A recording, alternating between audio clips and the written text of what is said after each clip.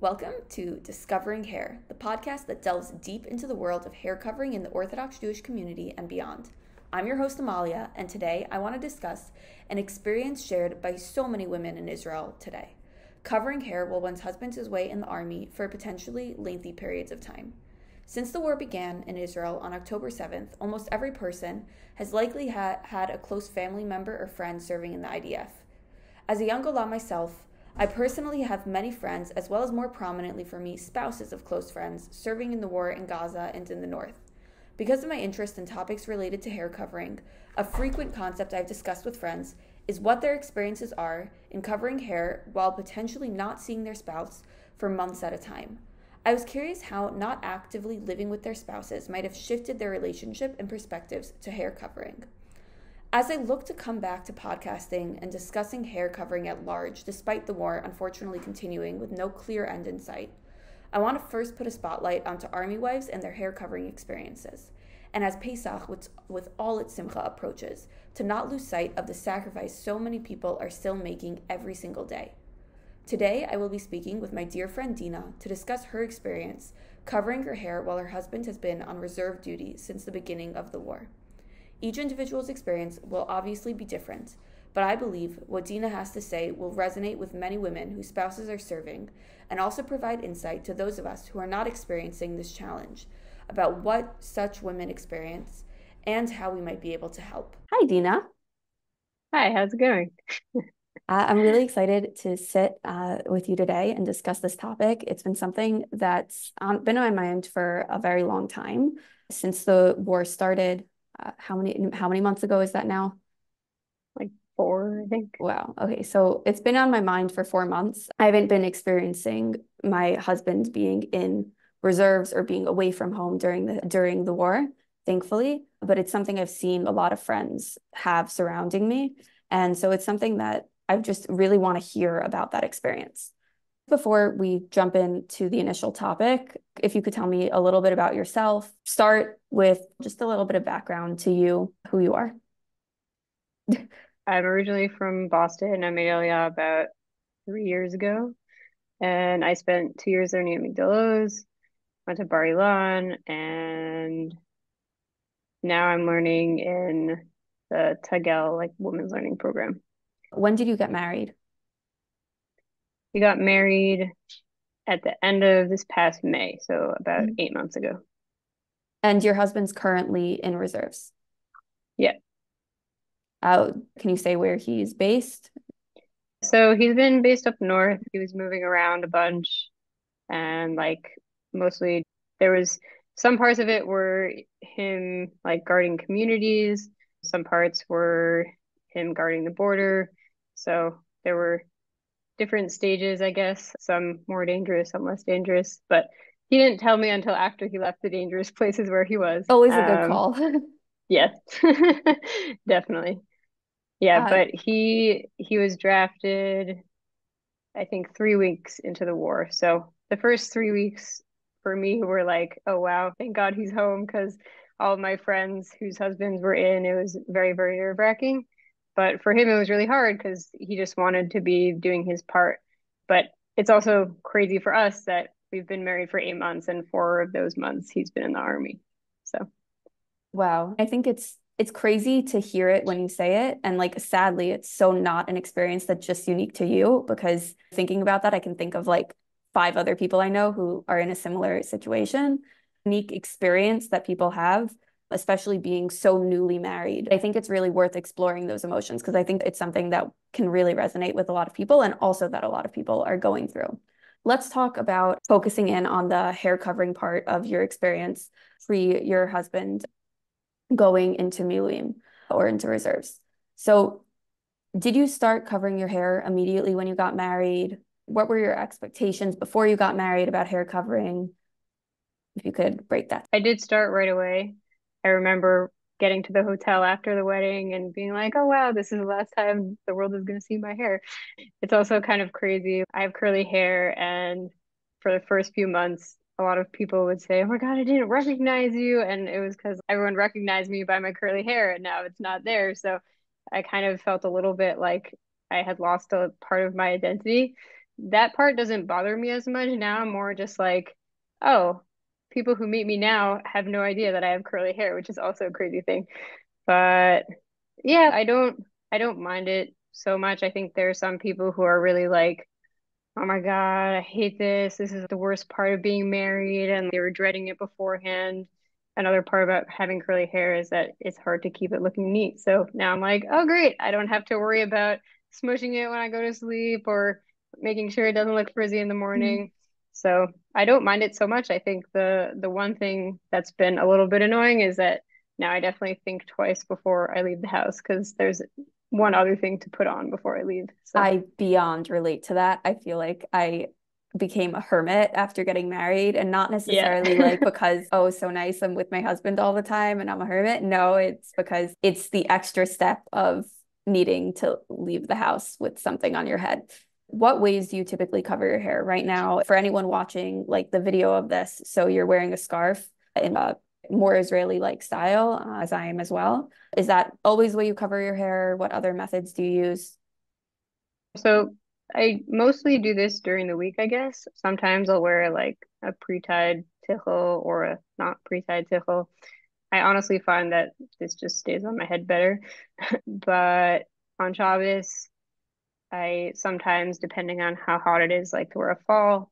I also have a lace top, but I think the fall looks more like me than the lace top does. So I mostly wear that when I'm in America or around my American in laws or things like that. I, I think a lot of women living in Israel have a little bit of a similar experience regarding, you know, the going back to America. That's your week to get the wear out of that very expensive piece of hair that you put on your head that very rarely goes on my head for like a long period of time or consistently. yeah, I also remember you telling me right after you got married that a lot of people in Israel, if you're wearing a wig, think that you're Haredi. Mm-hmm. So it's very interesting. But I guess it also depends what community you're in. Like if I go to visit like my husband's aunt in Ramat Beit Shemesh, then there are far more people wearing wigs, even though they're not Haredi. I also still remember a couple months before I got married, I went back to America to visit like my home community or whatever. And one of our family friends walked up to me in Shul and was like, so have you figured out how you're going to cover your hair yet? Because, you know, in Israel, it really defines what group of people you identify with. And I was just like, oh my God, why are you putting all this pressure on oh me? Like that's so stressful. So, but I think, I think it really does hold true that in a lot of ways, people in Israel judge you yeah. and your religious observance based on how you cover your hair. Mm-hmm. i will say maybe i'll do a separate episode on it. Personally what i've been seeing a lot more of a, lot of israeli women starting to wear wigs outside of the haredi space. That's just an interesting cultural shift that i think is maybe starting to happen. And i would definitely maybe explore that at a different time. So you said that for you it, it definitely changed a little bit of your your relationship to hair covering was never one of like major strife. Like it definitely has its annoyances. How, I guess, did you view hair covering on an emotional level? When you think about the mitzvah of uh, of rosh or hair covering, like what was that feeling for you? Initially, when I got married, it was kind of this, not in a, aside from the religious aspects, it was kind of like, oh, this is a new thing that I get to, you know, go through some process and practice and get better at it, get faster at it. And also like if you have boring outfits, then it can really like spice it up. You know, I used to wear a black dress and be like, wow, I think I look like I'm going to a funeral, but now you can wear some really mm-hmm. colorful mipachat or scarf or whatever. And it's another dynamic. I think I I honestly just didn't think about it too much. I think there are a lot of people who have very strong feelings about it and get very upset about it. I guess maybe I was nervous that if I started to think about it too much that it would start to upset me a little bit. But I also I don't really feel upset by it. Like I'm not like, "Oh my god, this is the worst mitzvah ever and how could we be asked to do this?" And I'm just like, "Okay, like it's it's part of being married." And sometimes it also is nice to have that identification or kind of that reminder of my husband on a daily basis. I'm like walking around. I'm like, oh yeah, it's not just, you know, the little ring on my finger that someone may or may not notice, but it does identify me more with being married and it's it's nice to have that. So that's something I was going to really shift into as we talk about your experience when your husband was then called into the army. How do you feel that your relationship to hair covering has shifted in that time? Meaning the aspect you're speaking of, of that symbolic reminder, whether to you or to other people. Have you appreciated it more? Has it bothered you more? Where are you kind of in that? So I think in some ways it was nice that even if my husband was away for a long stretch of time, that I could kind of walk around in the world and not just forget that, oh, I'm not a single person and there is someone out there who is a big part of my life.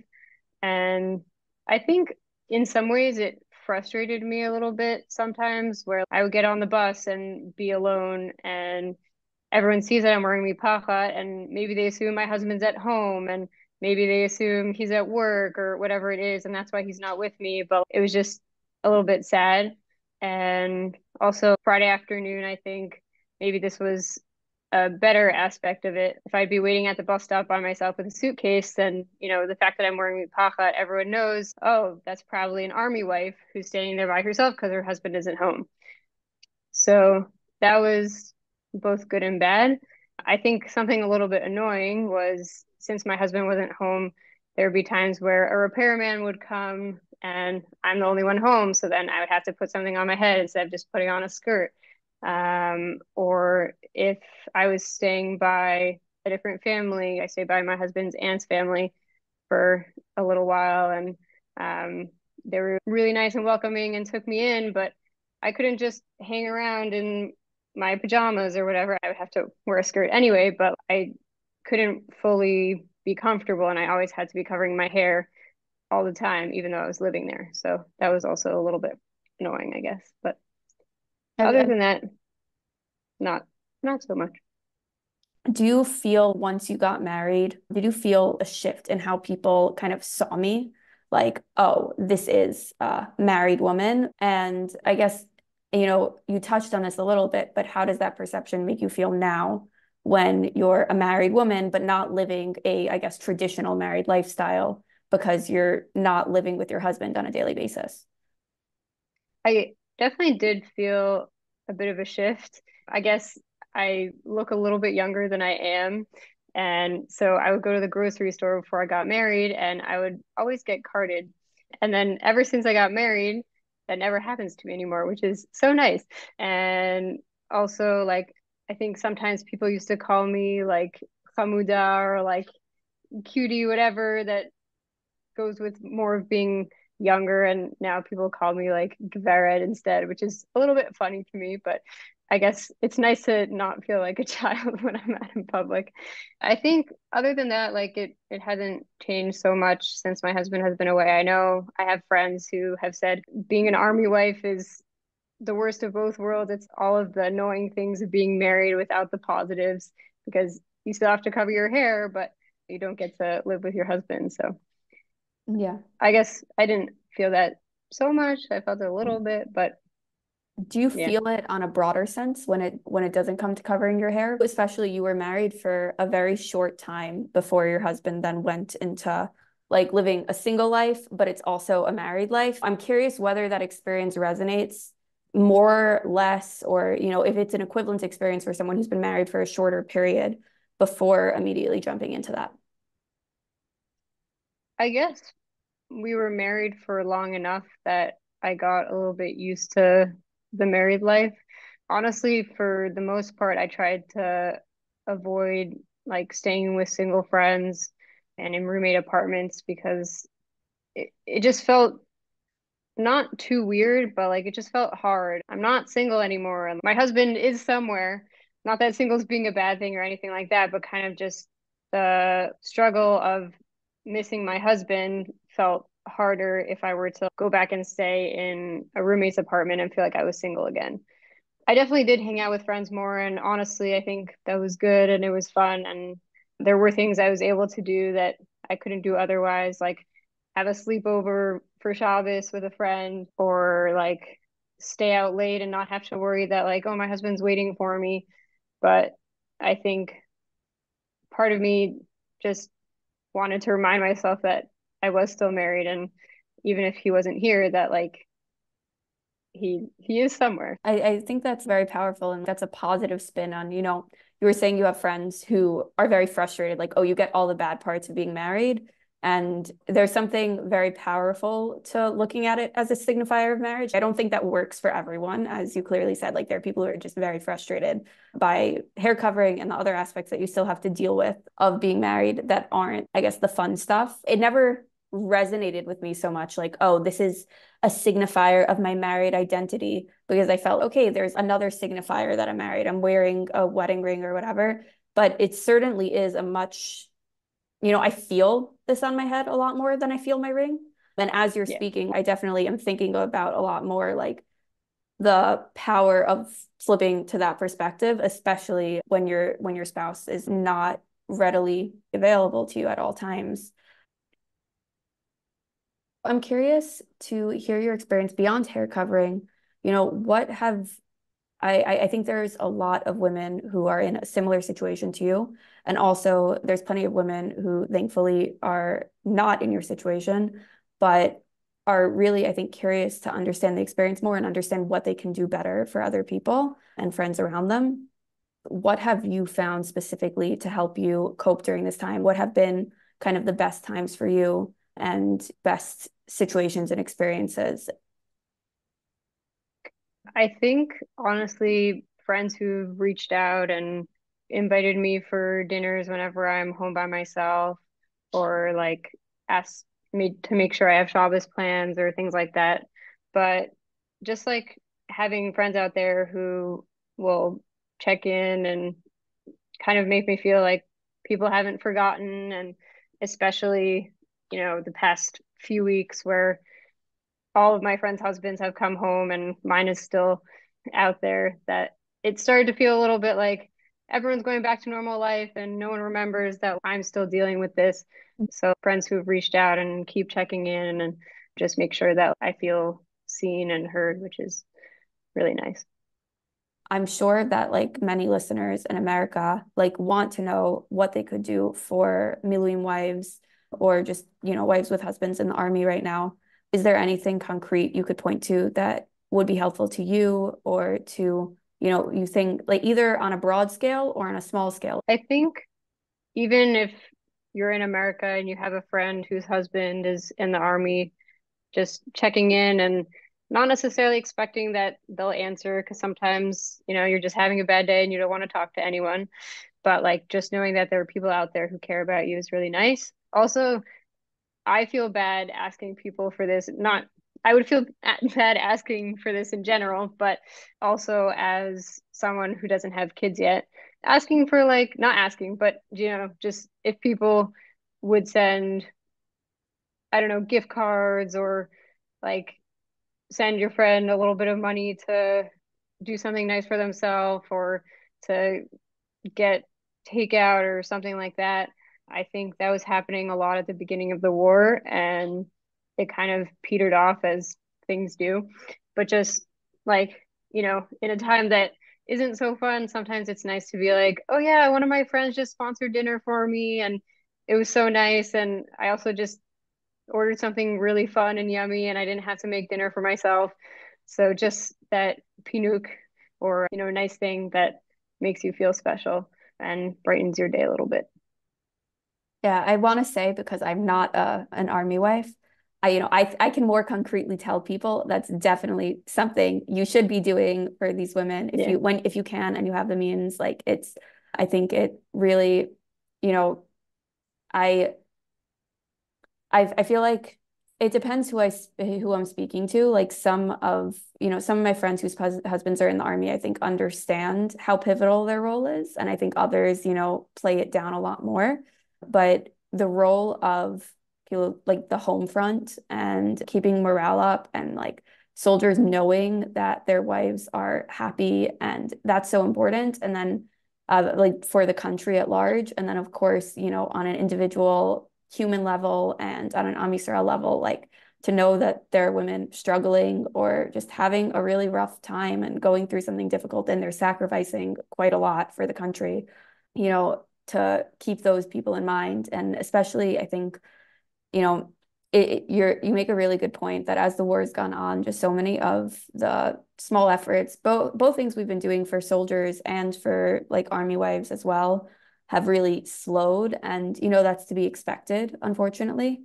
But you know, I, I hope that anyone who listens to this and we're at this point in the war takes this as another opportunity to maybe think about those people again and think about what what can be done for their friends, both on a like financial level and on a and on a personal like level. Yeah, I um, I went to a wedding a couple weeks ago and my husband happened to be home at the time, so we went together and we were talking to someone and he said, you know, to my husband, thank you so much for everything you've been doing and then he turned to me and he said, thank you also like you're you're really like contributing a lot and sacrificing a lot and it just felt really nice to be recognized like I'm not out there you know, staying up till all hours in the freezing cold and rain and I'm not doing anything scary, putting myself at risk. But you know, there there definitely is something to be said for all the wives who are staying home by themselves or taking care of their kids by themselves. And it definitely felt nice to be recognized. So yeah, I'm I'm really happy to hear that. I feel like sometimes people like I've heard people say it and you know, kind of say it, but like half like if you're talking to both spouses, then oh well, thank you so much for everything you've been doing, and like oh, and of oh, course, and thank too. you to you too. Yeah. like, but it's a yeah. you know to hear it in a very genuine and real way. It I think is really important and helpful. I, I would yeah. Imagine. I think I think a lot of people just don't even really think about it because everyone thinks about the people who are doing all of the hard things practically. And it just comes to mind a lot easier to think about oh the chayalim who are doing things. But don't forget there are other people out there who are going through hard stuff because of that. So i have one more question on the on the hair covering front. I just wasn't i, I it just came to my mind now have you found yourself you know you we we've been talking about hair covering as a sense of like identity to being married have you found yourself leaning more towards wearing scarves than you otherwise would because of that or not really? I'm just curious. In what in what Meaning way? in the sense that it's an signifier to other people of your married identity. Like obviously like and Oh, like as opposed to yeah. like a sheitel that isn't so noticeable. Yeah, that's less noticeable, I guess. Although plenty of sheitels are noticeable to the people around you and they certainly are very noticeable right. to yourself. So Right. I mean, I can say about like a lace top, for instance, that's less noticeable. I just don't really wear it enough in settings where I wouldn't necessarily want to be identified that way. And I think usually when I'm wearing it, everyone knows that yeah. it's a wig. But I definitely I have toyed with the idea of wearing a fall with mipacha, like just kind of a scarf as a headband, which is definitely a style in Israel and I did it for the first time last week. She looked very um, cute, I have to say. was at my house. Thank you. But I kind of thought about it for a long time, mostly because, you know, if you weren't looking too closely, you might think that it was my actual hair. And that would be identifying myself with a very, not very different, but just different sort of community than I might normally identify myself with. So it was it was definitely a thought I think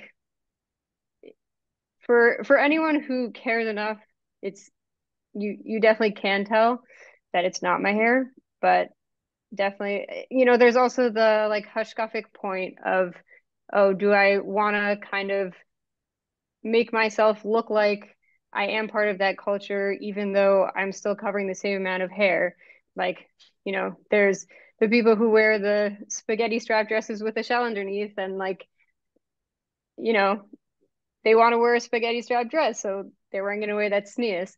But like, obviously, there's nothing wrong with it. But you know, it's it's just a kind of hashkafic preference, yeah. I guess. Yeah, I think about those things a lot too. It's definitely like I, these are all topics that I want to get to in episodes because you know even wearing like a chatzi mipacha, like a half a half scarf with my fall is something like I also am always like debating whether I do, don't do, like, and those issues definitely come up for myself as well. And I want to kind of devote some real time to it. So I think we're pretty much done. And I have a few like fun and, and questions to end off with. So, what is your favorite children's book? This is maybe a less well known one. It's called Tacky the Penguin. Um, definitely, definitely one of my favorite books growing up, and even now. It came up recently with my husband, and I was like, I can't believe that I've never told you about this before. It's it's about it's a very very funny book. You can find it on YouTube in a read aloud. It's about a penguin who is different from all of his friends and just much quirkier and funnier. His friends are all very like type A and very neat and prim and in the box and he's very like out of the box and all over the place. And he kind of just adds color to their life and they always think he's the odd one out and he's messing everything up and they're marching perfectly and he's not. But then at the end he ends up saving the day. So wow they learn from him yeah. I got I'm, I got to check out this book. I love that you know that it's on YouTube in read aloud form, which is clearly not I assume how you listened to it when you were actually a child. No. I found it when I had to show it to my husband. So I literally I, I'm I'm gonna check it out because I I sometimes fall asleep to children's books when like my mind's like very like uh, all over the place and I need like need That's to like calm idea. down. It's so it's so much better than white noise. Like it just makes you feel good to like hear like if you give a mouse a cookie, like wow, I love that. Yeah. Amazing. Highly recommend. Okay, so I'm always fascinated by consumer culture and the attachments we make with the things we own. What is one item in your house that you would like to get rid of but haven't? I'll be impressed if you don't hmm. have one in your house. this question I forgot to think about. I think probably there's just clothes that I haven't worn in a while and I somehow just decide that I still need it for some reason. Definitely. Yeah the full like storage under our bed is like bags and bags of like winter clothes and we live in a very hot climate and I've convinced myself like I can't get rid of these like what I don't like I don't know next time you know I'll want to wear that like like it like that giant sweater and all of these items and that's only the winter stuff I'm being kind to myself yeah. about all the summer clothes I don't wear even now yeah I think when you move around a lot and you're you don't have parents and like a base house that you could just keep all your, your extra stuff at. stuff at in this country that you tend to kind of have less stuff and keep less stuff that you don't need. Yeah. I mean, that's great for you. I feel like I've slowly accrued quite a lot that I still don't feel I need, but yeah. perhaps less than less than I used to. If you were given a million dollars to start your own chesed project, what would you do with it? Hmm, I forgot to think about this one also. It's better. we get it like an in the moment response. yeah, you could cut out all of my thinking time. I've definitely thought of things like relatively recently, but I just can't think of it doesn't necessarily need to be like a specific idea it can also be a specific like group you'd want to target or you know even even if you feel like there's a specific charity you want to highlight that does exist that we can also talk about that i guess probably some organization for Olim. I think there are a number, but none of them really run very well or have enough funds or things like that. And I think there are always Olim who need help with scores of different things, whether it's bureaucracy or free stuff, because, you know, making Aliyah is hard or. Um, I would like a um, free stuff organization. yeah or you know i think i think a lot of it is like figuring out how adult stuff in this country works i think maybe if there was an organization like that that kind of explained everything that you would ask your parents if you still lived in america but you don't really have anyone to ask now like it would be so great if there was something like that i sometimes think that i just want to be like meaning i have israeli friends who have israeli parents i could ask things to but like sometimes it feels like too like personal, like you know them or you don't want them to know like, you know, something about your finances or something about like a specific aspect of your life. And I want like an anonymous like hotline of just like an Israeli mom, you know? Like that's what yeah.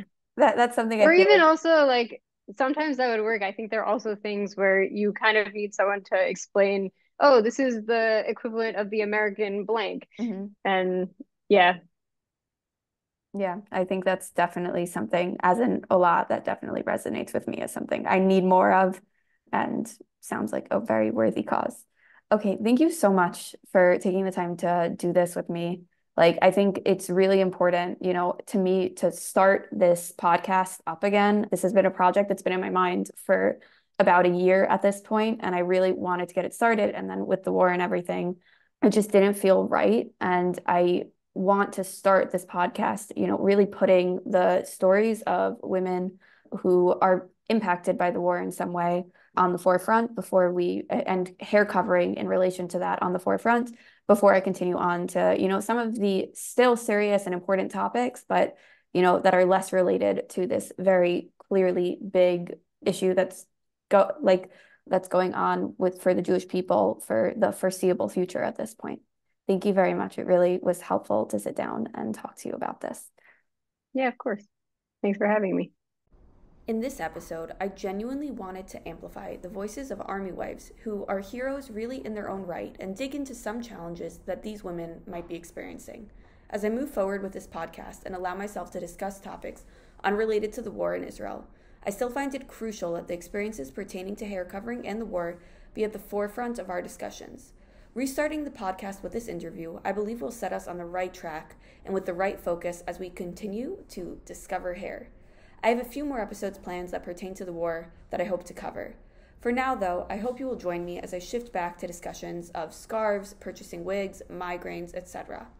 If this episode resonated with you, please share it with friends and family and subscribe to keep following the journey of discovering hair.